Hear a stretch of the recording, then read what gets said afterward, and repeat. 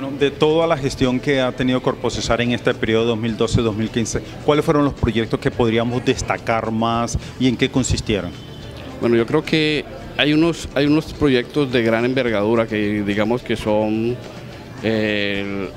la parte de la construcción de los gaviones en la cuenca del río Guatapurí para beneficio de los barrios subnormales eh, de la parte media y baja de la cuenca del río Guatapurí sobre la ciudad de Valledupar.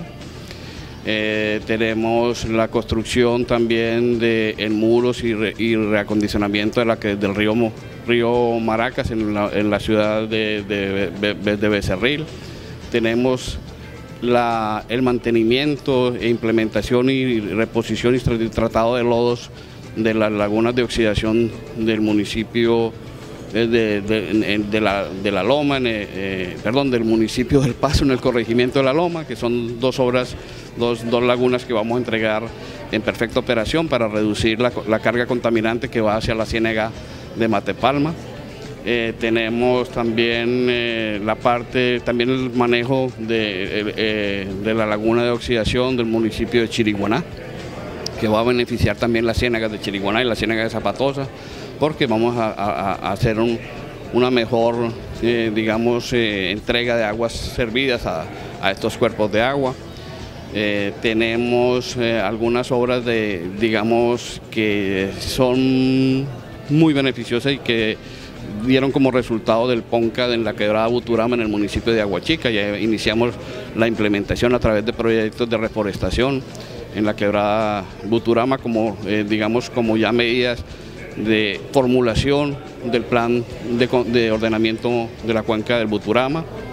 En este momento estamos eh, ordenando tres cuencas bien importantes, que es la cuenca del río Guatapurí, eh, quien está ya en una etapa de diagnóstico, la cuenca del río Calenturitas, conformada por los ríos Tucuy, Sororia, Maracas y Calenturitas, y que beneficia, es una cuenca de más o menos unas 124 mil hectáreas y beneficia a los municipios de Becerril, La Jagua, El Paso, y que ya estamos en la fase, la fase de aprestamiento. De igual manera tenemos estamos eh, eh, en el levantamiento del PONCA de la cuenca baja del río Cesar, que tiene como área de influencia la Ciénaga de Zapatosa, beneficiando a los municipios de Chiriguaná y Chimichagua y, Tamalameque, y digamos eh, que esas son como una, de las obras importantes y algo que va a quedar en beneficio de las comunidades. Tenemos también muchos proyectos en la parte de compensación, digamos, con la zona minera. Eh, tenemos cerca de 134 beneficiadas directamente,